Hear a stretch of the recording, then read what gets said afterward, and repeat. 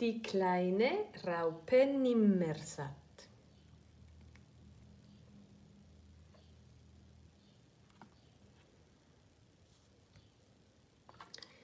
Ich sehe ein kleines weißes Ei.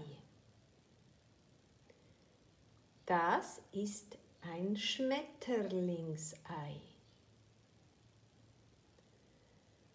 An einem schönen Sonntagmorgen schlüpft aus dem Schmetterlingsei eine kleine Raupe. Die Raupe hat Hunger. Sie möchte essen. Sie kriecht los.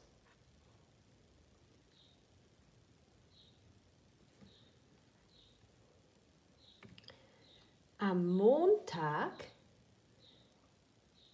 fraß sie sich durch einen Apfel. Aber die Raupe hat noch immer Hunger. Sie ist noch nicht satt. Am Dienstag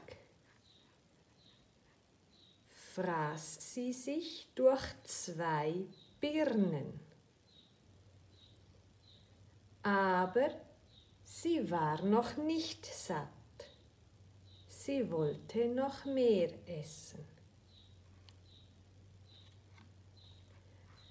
Am Mittwoch fraß sich die kleine Raupe durch drei Pflaumen. Aber sie war noch nicht satt.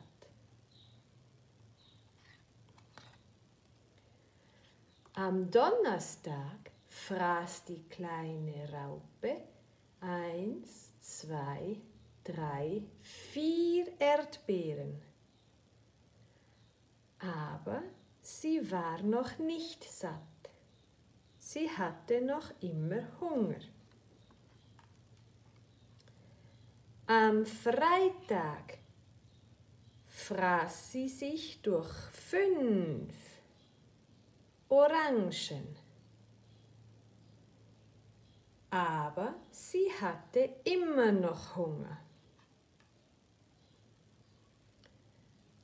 Am Samstag fraß die kleine Raupe ein Stück Schokolade, ein Eis, eine saure Gurke,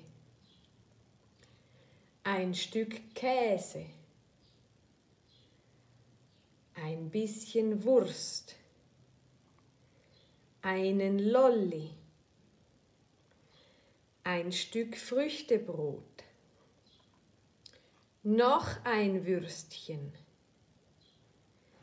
ein Muffin und ein Stück Wassermelone.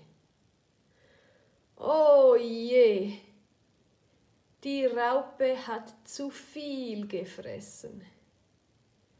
Jetzt hat sie Bauchweh.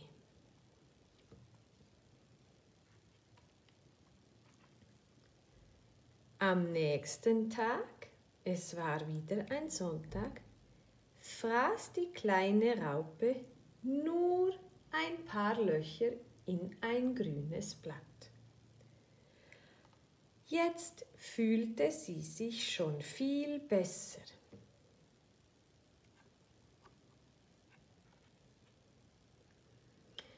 aber sie war nicht mehr klein.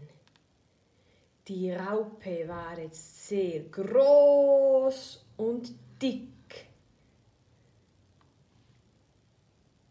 Sie baute sich ein kleines Haus, einen Kokon, und blieb in dem Kokon drin. Nach ein paar Wochen schlüpfte sie aus dem Kokon.